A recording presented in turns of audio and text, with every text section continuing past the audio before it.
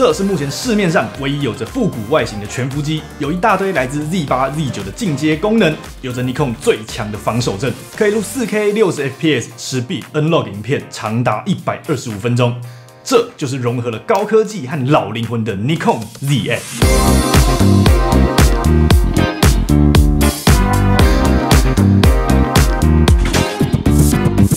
大家好，我是安真。Nikon ZF 用了四个月，我想先用一句话来总结一下这段时间的心得。我真的太喜欢这台相机了，我对这台相机，或甚至是对 Nikon 整个品牌，想说的实在有点多。有些其实已经写在 Nikon ZFC 的开箱影片，那个时候很多人的留言都写了，可惜不是全片幅。很高兴 Nikon 听到了大家的声音，推出了这台不仅仅是全片幅版本的 ZFC 的机器。而更是承袭了许多来自 Nikon Z 系列目前最强大的 Z 八、Z 九上的各种技术的相机。接下来除了外观设计、功能、规格、影片录影的实际表现以外，也会提到我到底为什么这么喜欢这台相机，还有 ZF 适合什么样的人入手。先简单带一下开箱，我选择的是搭配四十 mm 光圈二的 kit 镜组，国祥贸易公司货。盒子打开是一条 USB C to USB C 的传输充电线。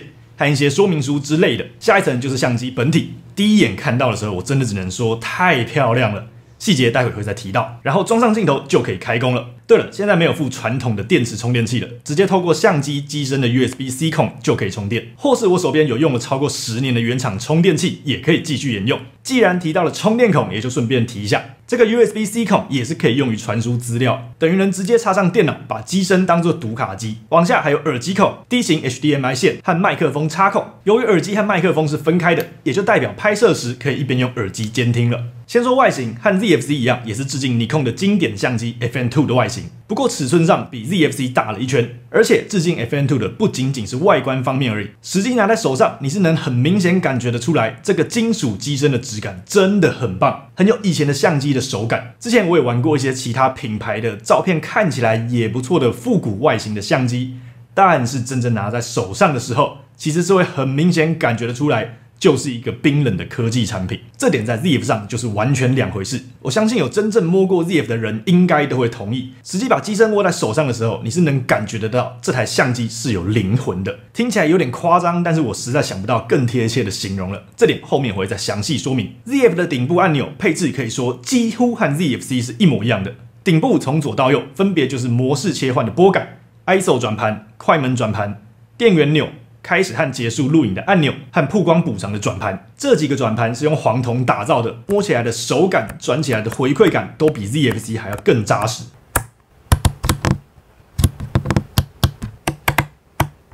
网络上甚至有人教你怎么做旧化。看起来也是另外一种不同的感觉。除此之外，也和 ZFC 一样，都有一个显示光圈的小荧幕。拇指和食指的位置分别各有一个转盘，方便调整光圈、快门或是各种设定。握持相机时，无名指这边也有一颗可以自行设定常用功能的快捷键。像我自己是设定成了对焦相关的切换，按住这个按钮转前面的转盘是切换对焦模式，按住搭配后方的转盘则是对焦框的大小、形状选择。而背面和 ZFC 也非常接近，同样也都有着翻转荧幕。不过尺寸上大了一点，从三寸变成三点二寸，用在拍照时可以更没有角度限制来取景。而拍摄影片时，对于你现在看到的这种对着镜头讲话的画面，真的是省了非常多麻烦。如果会在外面拿着相机自拍 vlog 之类的，那这块翻转荧幕肯定就是更加分的设计了。外观上有一点明显和 ZFC 不同的是，多了浅浅的握把。虽然说单纯以致敬 FN2 这点来看，本来就不应该有握把，没错。不过我觉得这个不起眼的握把，确实手感上比 ZFC 好太多太多了。但这点当然是相对而言啊。如果像我一样用习惯传统单眼。或是现在 Z 八这种有着大握把的相机，那还是能明显感觉长时间握持是比较吃力的。但对我个人来说，ZF 本来就是相对 Z 八轻松惬意很多，也算是比较不会长时间拿来大量拍摄的工作用相机。这点对我影响就不大。如果有这种需求的话，或许可以考虑买一个额外的握把，会对长期的握持轻松很多。另外，有个和 ZFC 不太明显的相异之处是，快门钮上有了螺纹，可以转上传统的快门线。然后你就会发现快门按不下去。对的，这个只是装饰用的存在而已，让你可以加上自己喜欢的快门钮小装饰。重量的话，如果跟在我拿到 ZF 之前使用频率最高的 Z 八比起来是轻不少的。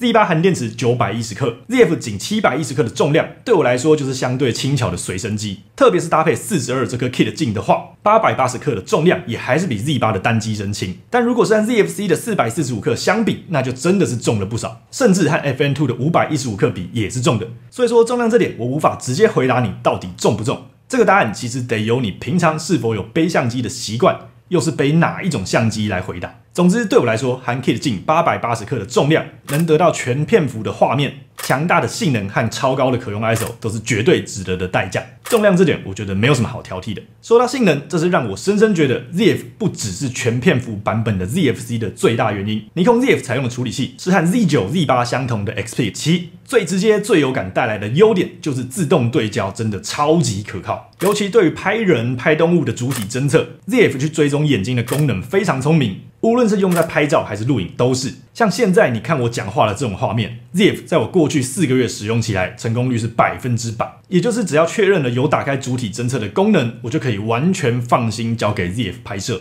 从来没有失误过。当然，如果在一些极端一点情况，譬如说光线过于昏暗，或是主体在剧烈移动，那或许无法达到百分之百，但成功率也都是非常非常高的。而且阿猫阿狗、鸟类、汽车、机车、火车、飞机、脚踏车也都可以侦测。这段时间用起来，ZF 的自动对焦是让我非常满意的。还有一点，对于拍照成功率可以大幅提升的技术，也就是高达八级的防守阵，这可是超越了 Z 八、Z 九的一大优点，也是目前 ni 控史上最强的减震性能。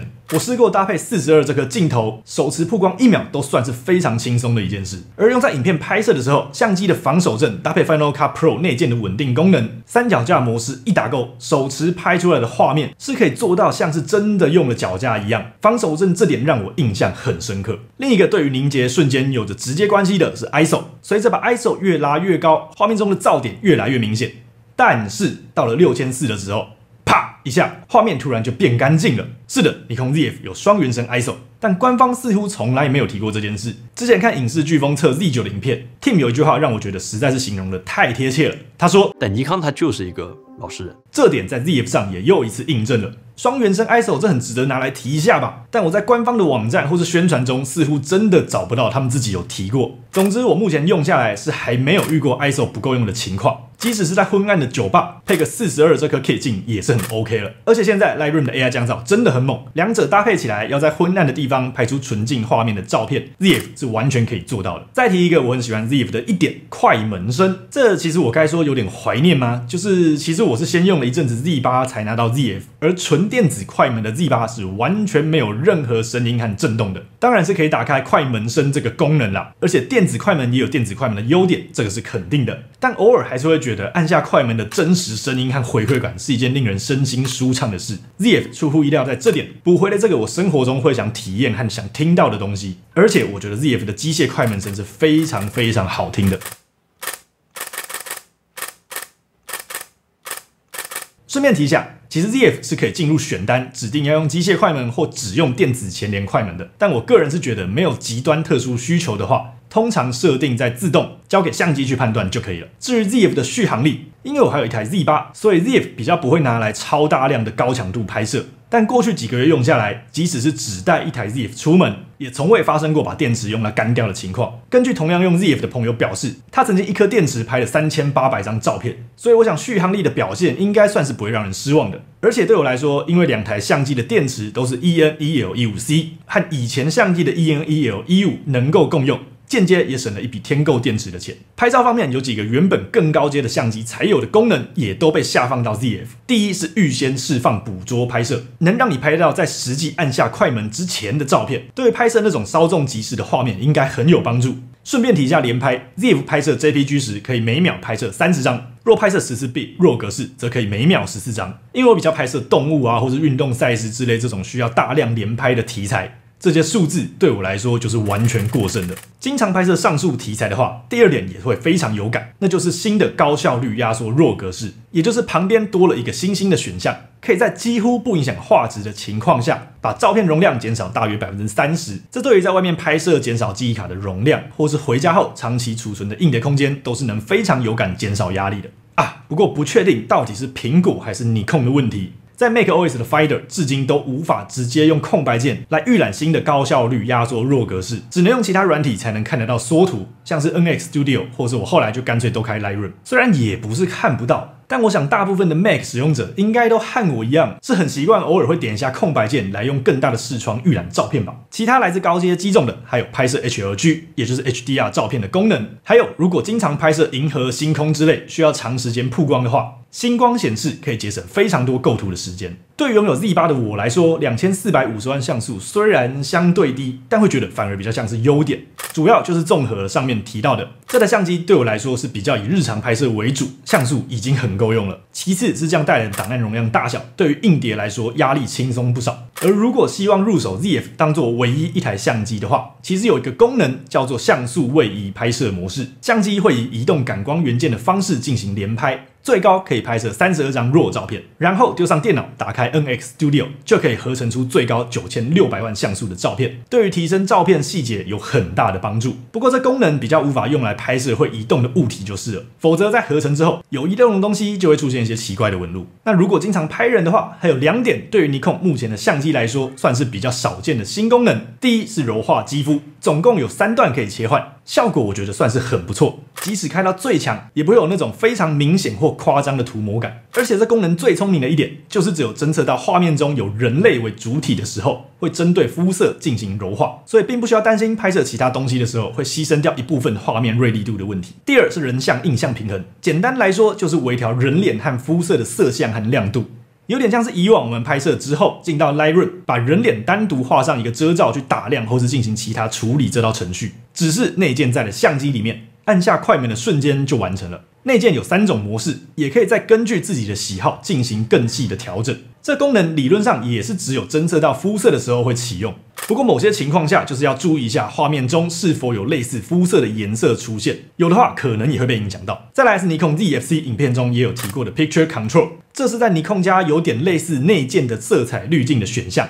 这次 ZF 新增的浓艳色调人像，是我在拍人的时候非常爱用的选项，会比以往尼控相机都有的人像饱和度再高一些。搭配前面提到的柔化肌肤和人像印象平衡，可以在直出 JPG 的时候省掉非常多琐碎的后置。那如果是拍摄 RAW 的话，这些选项也是都可以在电脑上的 NX Studio 上进行修改或是套用。所以我个人是建议，硬碟空间还 OK 的话，尽量都拍摄 RAW 加 JPG 啦。即使你可能刚开始想接触 RAW，还没有那么熟悉这个东西，但保留了这些类似传统底片的原始 RAW 档案。日后想重新挖出来，用新的技术去剪弱照片的时候，你会很感谢自己有好好保留弱档案的。对了，关于 Picture Control 的详细介绍，包含怎么自己进行详细的调整，或是去下载别人做好的模拟某些特定底片的色彩效果，我已经写了一篇完整的教学，之后会再来分享。接下来说一下影片拍摄，我的频道往前翻一点，其实有很多影片就已经是用 vf 进行拍摄了。日常拍摄或者说频道中的影片，我最常用的规格是四 K 三十 FPS，由于是六 K 来过采样的，会比一般的四 K 画面更锐利、更扎实一点。其实 ZF 最高可以拍到四 K 六十 FPS，不过会有差不多一点五倍的裁切，也就是接近 APS-C 的片幅那样。ZF 虽然无法像 Z 八那样拍摄十二 bit 的 N RAW，但是有我认为后置空间够大、档案大小也比较折中的十 bit N Log。其实我即使是用 Z 八，也不太会拿来拍摄 N RAW。第一个原因就是因为档案大小，第二是我自认还无法驾驭。整套工作流程我都还不熟悉，所以在 ZF 上，主要我就是轻松简单拍摄的话，会选择 H 二六五十 B SDR 偷懒。如果是希望能保留多一点调色空间，那就会选择 N Log。而且在某些时候，与 Z 八搭配当做第二台镜位的时候，两台都采用 N Log 来拍摄，对于我来说就方便了很多。虽然毕竟感光元件不同，色彩上肯定还是会有一点点差异。但工作流程上还是帮助我省掉了超级多的时间和力气。总之，在影片的拍摄上，有着更专业用途的十 B N Log，有着目前尼控最强的防守阵，有着六 K 过采样的无裁切四 K 三十 FPS。对我来说，ZF 的录影功能，无论是日常拍摄还是当做工作用的第二台机器，都算是完全够用的。再来，我想提个 ZF 让我觉得乐趣十足的地方，那就是镜头。除了阵容越来越完整的新的 Z 卡口的镜头以外，首先，你可以使用官方的 FTZ 转接环来将尼控过去接近一百年的 F 卡口镜头都转到 ZF 上使用。无论是数位单眼时代的 D 开头有着自动对焦的镜头，还是更前面底片时代 F 开头的手动镜都可以。像我差不多十年前在日本和尼控 F 三一起入手的五十一点四。或是用 D 九零到 D 八一零的时期常用的其他镜头都没问题。如果转接的是具有自动对焦的镜头，那拍照方面的体验，我的体感跟没有转接其实差不多，对焦一样又快又准。但录影的话，或许是因为当时很多镜头根本没有考虑过将来有一天会被拿来大量的录影，自动对焦在某些情况会没有那么灵。但我觉得最有趣的是，即使转接上只有手动对焦的镜头，那前面提到的自动辨识人类或阿猫阿狗的主体也都能正常运作。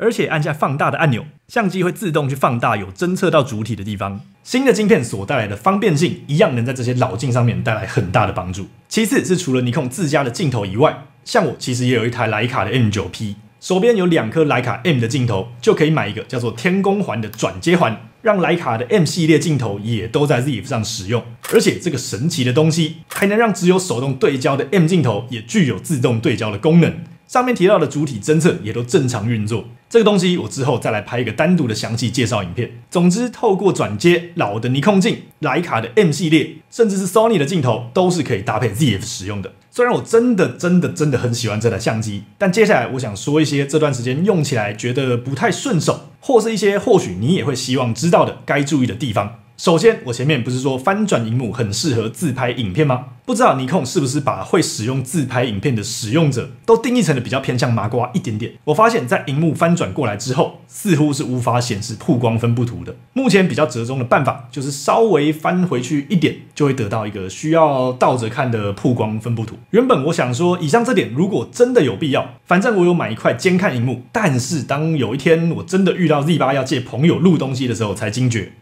，ZF 并不是全尺寸的 HDMI，我手边根本就没有线可以接上去，所以有外接监看需求的话，这也需要注意一下，得要多额外准备一条线。其次是翻转荧幕，其实在翻转的过程是会卡到麦克风耳机孔的，需要在插入这些之前就先把荧幕翻转好，否则就会有点麻烦。类似的还有锁上脚架快拆板的时候，很可能会遇到像我一样的情况，如果不先拆除快拆板，有可能无法完全打开电池和记忆卡的这块机关。像我搭配的快拆板，就是记忆卡还可以勉强拿得出来，但如果刚好遇到没电，就只能麻烦一点，先拆掉快拆板了。还有，当你要取出 micro SD 卡的时候，一定得先拿出电池，拿出全尺寸的 SD 卡，才能碰到 micro SD 卡。幸好这张我主要是当做避免忘记带卡的情况，几乎保持插在机身里面。要取出 micro SD 卡比较繁琐这件事，还不至于对我造成什么频繁的困扰。外观有一点我觉得有点可惜的，就是 ZF 的外形这么棒，目前却只有二八、二点八和四十二两颗镜头是有做复古外形的。我个人是觉得，无论接上其他 Z 系列的新镜头，还是转接上其他老镜头，外观看起来都会有那么点古怪。希望之后会补上越来越多复古外形的镜头。然后是选单，我一直觉得尼控实在该大改一下选单的逻辑了。有好多常用功能是被藏在很深的地方，譬如前面提到的星光显示。虽然可以透过设定快捷键会有帮助，但偏偏 ZF 就只有这么一颗。对于用习惯 Z 八的我来说，快捷键有点不够用。哦，对，用习惯 Z 八的话还少了一点，我会觉得 ZF 少了可以设定使用者 A、B、C、D 的选项，有点可惜。譬如我的 Z 八就是设定了 A 是拍摄三十 FPS 没有减震，用来拍摄上脚架的画面；B 是六十 FPS 有开防守阵，用来拍摄手持；C 是一百二十 FPS 用来拍慢动作等等。就不必每次分开进行太多细部的设定。另外，如果像我一样会拿来大量拍摄影片的话，Z 九、Z 八有的问题，ZF 也有。那就是如果装上滑轨，并且打开防守阵，拍出来的画面会产生看得很不舒服的奇怪的抖动。我试过，无论开 Normal、Sport 或是电子减震都一样。后来我的做法就是完全关掉，虽然不开也是会有来自滑轨的轻微震动。但相对打开减震产生的奇怪画面扭曲，自然的物理抖动进到软体去选择稳定处理出来的画面，在我看来是比较舒服的。很希望尼控赶快处理这个问题，否则对于偏专业的使用者来说，滑轨可以说是必需品，每次都得记得先关掉防守阵，会造成体验不佳。最后这个严格说起来不算是缺点，就是在使用 Z 八之前，我用的是 Z 六第一代，重播的按钮在左上角，而 Z 八却改到了右下角。好不容易用了一段时间，习惯了。嘿，怎么 ZF 又跑回左上角了？就像 PS 五的全汉差一样，我至今还在错乱。虽然这几点都不算是完全无解的问题啦，但是我真的很喜欢这台相机，也希望能够有更多创作者一起加入尼控的行列。再来回答一下最前面提到的问题，为什么我特别特别喜欢 ZF？不知道你有没有发现，前面在讲按钮配置的时候，我忽略了一个地方没讲，那就是拍照和录影模式的切换钮旁边还有一个 B N W 的选项。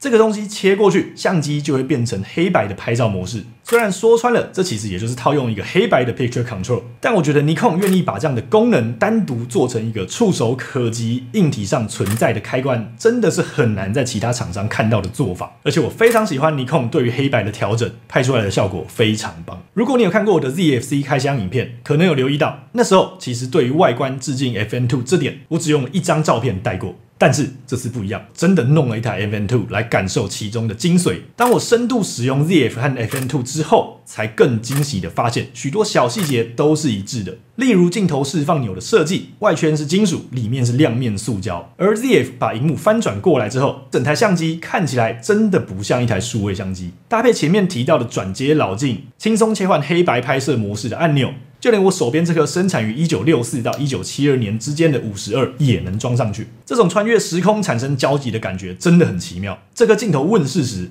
连我妈都还只是个小朋友，如今却能跟我三十几岁时拥有的全新数位无反光镜相机完美搭配。横跨四十年的两台相机都能装上这颗六十岁的镜头，这种跨时代的体验让我得以用全新的技术，以操作门槛更方便。按下快门的成本更低的方式，享受尼控超过百年来的光学魅力。这就是我前面说的，让我感觉到这是一台有历史脉络、有一直以来以耐用、精良的品质闻名世界的尼控所生产的一台有灵魂的相机。所以，尼控 ZF 到底适合什么样的人购买呢？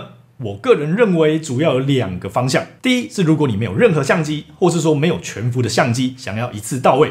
那我认为 ZF 在拍摄静态的照片来说，有 RAW 和 JPG 分别十四张和三十张的连拍，有来自高阶机种的预先释放捕捉，高效率 RAW 压缩，九千六百万像素的像素位移，有效果很棒，而且具有调整空间的内建柔肤和人像印象平衡，以及可以玩出很多花样的 Picture Control。录影更是具有由六 K 过采样的四 K 三十 FPS 无裁切。或是最高六十 FPS，还可以连续录制高达一百二十五分钟，而且有 Nlock 提供了很大的调色空间，对于动态的影像创作来说也算是非常强大。而且主体电视、对焦性能、防守阵也都让我超级满意。第二就是偏专业的使用者，或是像我一样有了 Z 九、Z 八这种更高阶一点的机器，想要一台相对轻巧又外形好看的随身机。而且这台随身机的性能又不至于和原本的高阶相机差距太大，或是希望把手边的老镜头转接到新的够强的数位机身上来使用，那 ZF 真的会是一个能让老镜重获新生的好选择。毕竟现在复古外形的全幅机也就只有 Nikon ZF 这么一台嘛。哦，对了，我发现台湾真的好少使用 Nikon 拍摄动态影像的创作者。我最近在研究 Discord，就顺便创了一个频道。如果你有任何想问的问题，或是想一起研究网络上资料还不算太多的。Log 工作流程都非常欢迎加入。其实我也还没想好这个频道会往哪里发展。总之，我是希望至少能让尼控使用者们有一个地方可以交流，并且可以保留这些讨论，让日后加入尼控的新手也能快速上手。Facebook 社团封闭，而且不利于搜寻，加上我的账号莫名其妙被官方封锁了。赖社群光是图片会过期，就对于后面才加入的新朋友很不友善。Discord 是我目前认为最适合的平台。无论你是迷惘的新手，想来寻找方向，还是已经熟悉了使用尼控相机的资深大大，都非常欢迎加入。下一个影片来说说我用了更久的尼控 Z 八，也再次感谢尼控台湾总代理国祥贸易的支持。希望越来越多影像创作者一起加入尼控。我三生，下个影片见。